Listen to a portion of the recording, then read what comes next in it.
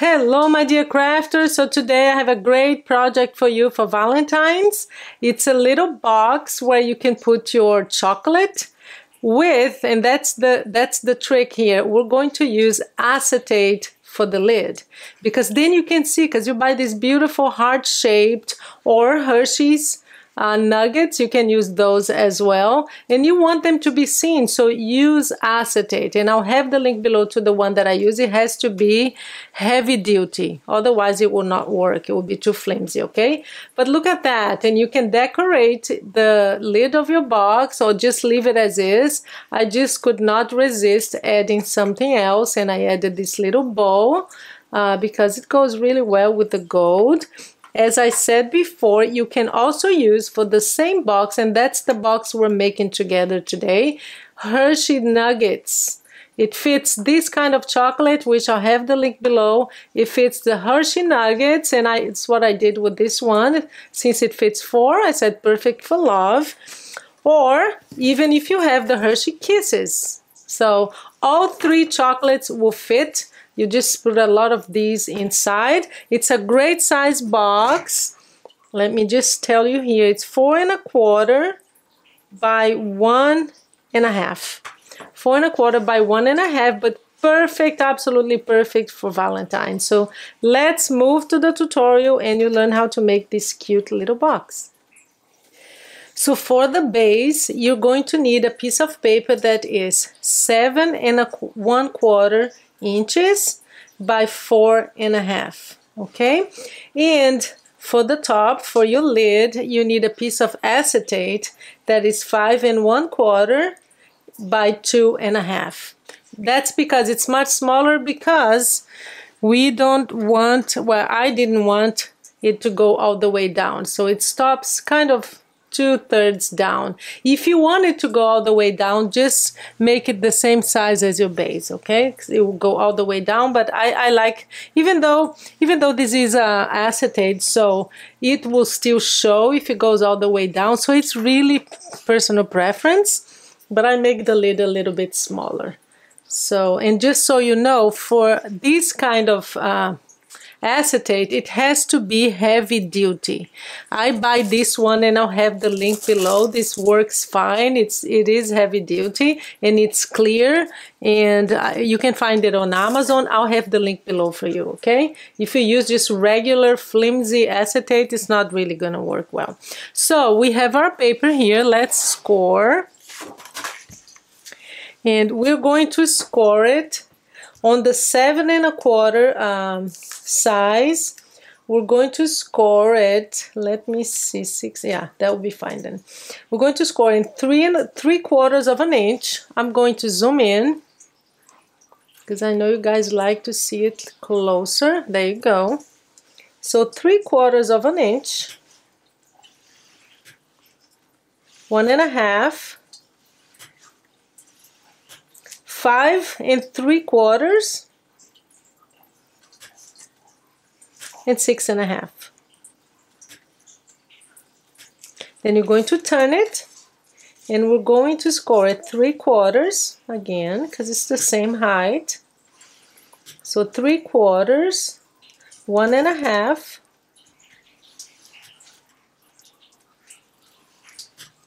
three and three and three quarters. So that's all the scoring done. We'll do the lid later, okay?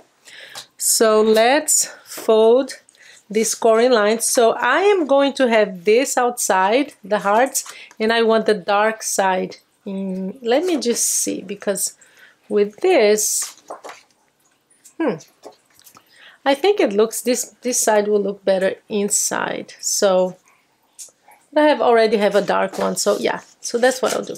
So let's just score. Finish all the scoring lines because it always makes it easier. And this paper is beautiful. It's by Echo Park. You might have seen it on my Valentine's haul.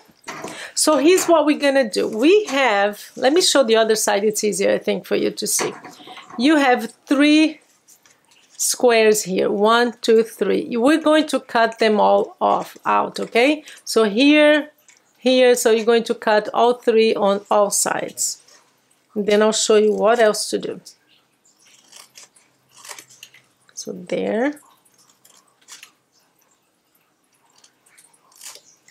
So that's what you do. That's the first thing you do. We're going to have this folding this way. So for that, we're just going to cut here. And I usually cut it at an angle. So I'll show you how to do two sides and then I'll just do the rest. So that's what you have. We're going to do the same thing here on this side. So I'm going to actually zoom out a little bit.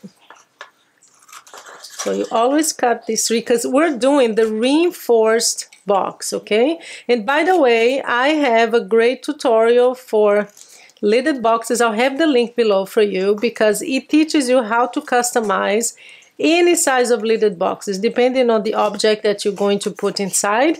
I teach you how to make the reinforced, which is this kind here, and just the basic box. So that's what we have on one side and we're going to do the same on the other. Basically, cut the three squares off and then just cut this cut here okay so we're gonna do the same here here and cut the three parts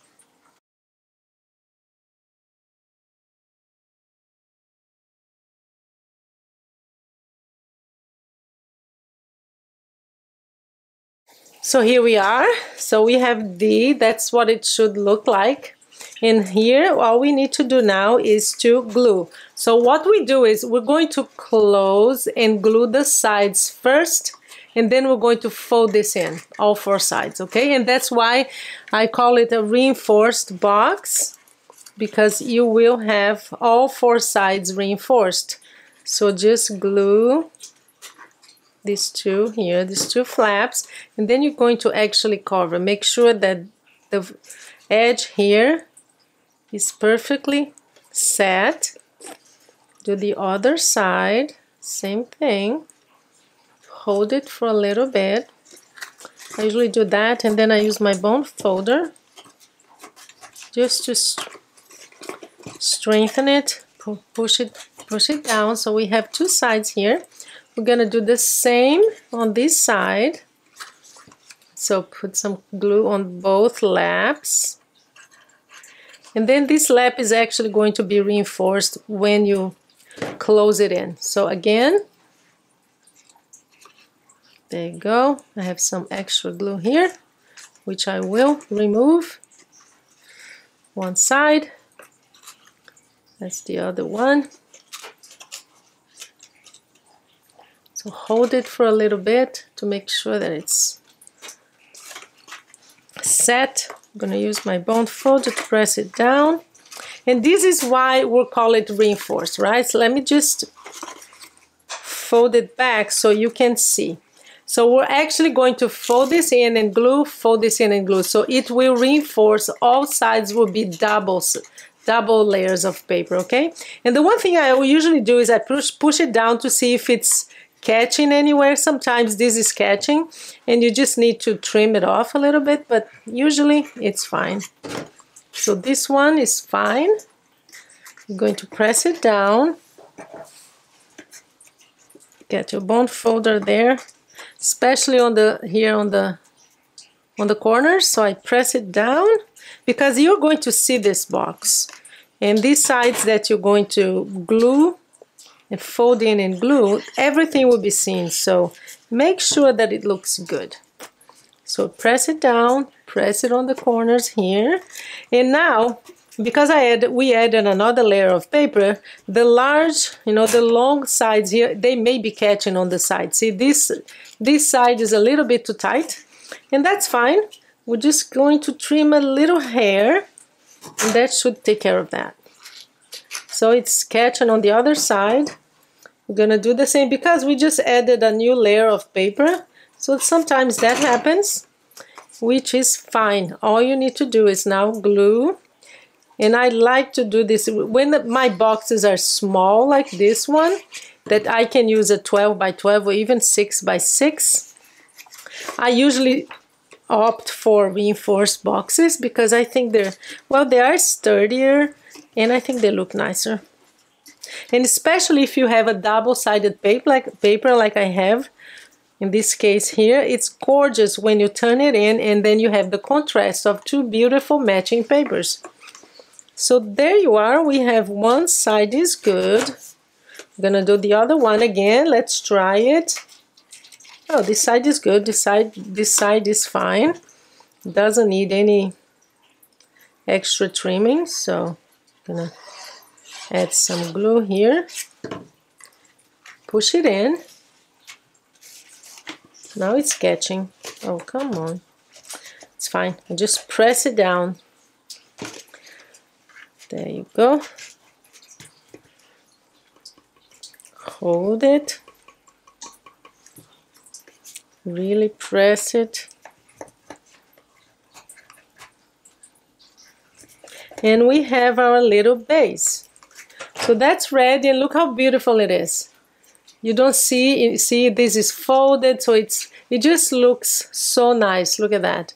The edges are fine just press it in so that it's rectangle. Look at that. I love to make these reinforced boxes with double-sided paper because it usually looks beautiful. So now let's do the top the lid. So we have our acetate here let me just make sure that and just so you know which kind of glue should you use, the best one is a double-sided adhesive like this, dry, always dry. Look what happens. I tested a lot of different ones. Look what happens if you use liquid glue. It glues, but who wants that, right? and this one is a clear. It dries clear, but still, look at that. so the best one is the liquid, uh, the dry double-sided. You still see a little bit but it's really not much especially because what we're going to do is to cut the sides. I'll show you how so that you have just a tiny space showing with the glue. So we're going to score it and here here is the most important thing this is for any lidded box that you make.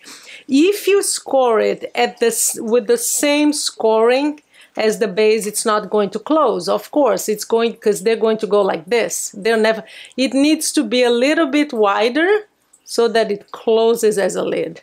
And how do you do that? It's very easy. So here we're going to do the same thing. We're going to score at three quarters oh sorry. No because this one is is actually shorter. So this one is uh, it's not it doesn't go all the way down.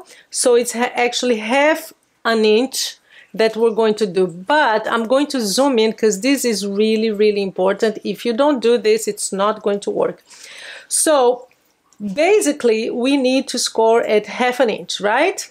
That's what we need. But we don't score it at half an inch without moving the paper. You have to move the paper like one hair honestly it's like one sixteenth of an inch to the right so so because you when you do that if I had scored here and you move the paper to the left, to the right, you push it to the right, this is actually going to be a little bit wider. So that's what you do. But guys, let me show you with, uh, with a ruler, honestly, because you really have to understand this. So I would have, let me see how close I can go without losing the, there you go. This is a quarter of an inch here. This is one eighth of an inch. It's half of that. So it's really just this little tiny space here. Because if you do more than that, it's going to be too loose. So that's what I'm doing right now. I am moving just a little tiny bit, hold it in place, and I'll score it at half an inch. And I'm going to do the same thing on all four sides.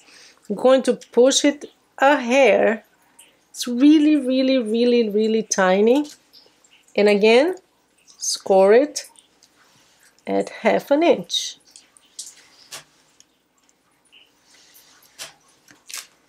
And you do it on all four sides, okay? Because it has to be done on all of them.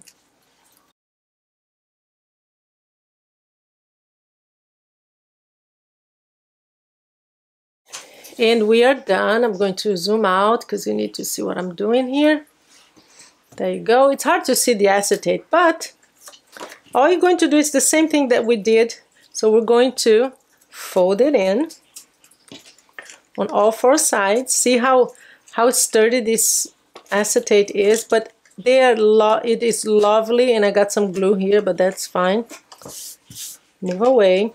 Uh, this is really great. Even I made the other day a set of cards for a friend and I made the whole box just acetate. I can actually I think I'm gonna have a tutorial on that. So because you make your beautiful cards and then you hide it in a in a paper box that nobody sees. So okay, so here's what we're gonna do. We're going to cut here and here. This is easier because it's not it's not reinforced. So you cut here and here, and this is going to fold in like that. And we're also going to do something here. I don't want this whole square here showing. See how big this square is? I'm gonna cut, cut like one third of that because if you have less of a surface, it's not going to show the glue. See, just cut it one third. It's so hard to show, but look, look at that. So I just cut a little bit here.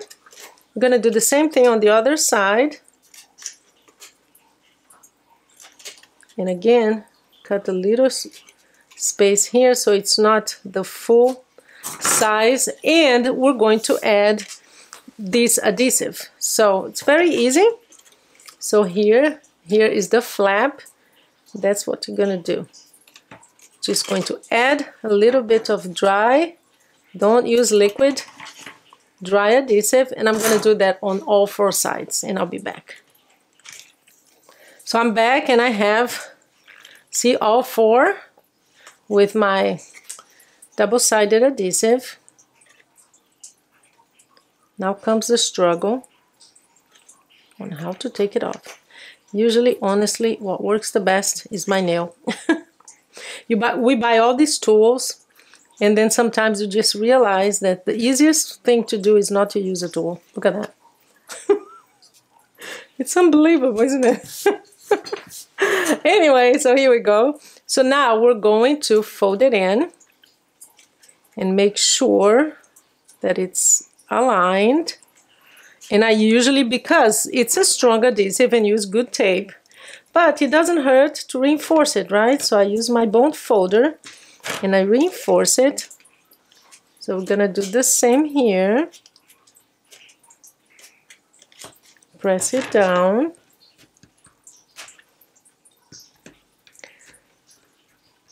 There you go. Uh -huh. So there you go, one more. One more side, and this one is all crooked. See how strong it is, even hard to there you go. All good now. Last one.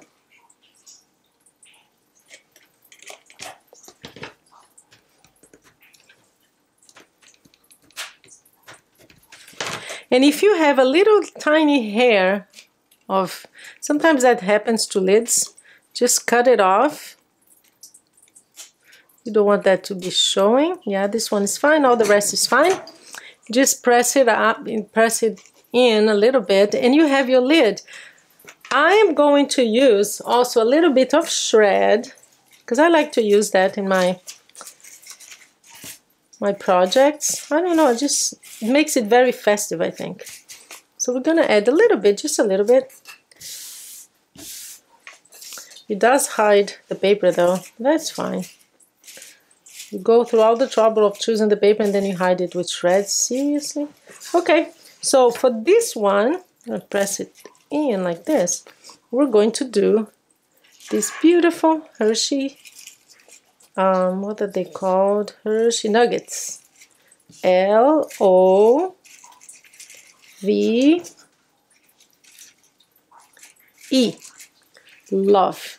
How cute is that? I love it. Yeah, and I think I'm going, let me see if we're going to decorate this one. So look at that. It's perfect. I think I'm going to, you know what? I am going to take all these out. Because I think the Hershey's are a little bit taller than those hearts. So I think it would just look not no too low. I would just put like a little tiny bit. I know guys, details, details. But I like it. I like details. I think it makes that's what makes a difference in what you make. There you go. There's always one that's too long. There you go. So perfect L O. Do this to yours if you use Hershey Nuggets. Just put the words love. How cute is that? I love it. So there you go. We have our little box. I was thinking of adding, let me see if that's going to work. If it doesn't, then I'll just leave it as is. I was going to work to just add this, but I don't think so. It takes away from the love. So there you go. We have a beautiful box. Perfect here on the side. And that's our tutorial for today. We have three here. Can be horizontal, vertical, whichever way you want. It fits it all. And also, if you want to use your Hershey's, your Kisses, it fits those as well. So Thank you so much for your time. I hope you enjoyed this tutorial and please do like the video and leave a comment, all of that. The algorithm loves that and it really helps us. Thank you so much and you have a great day.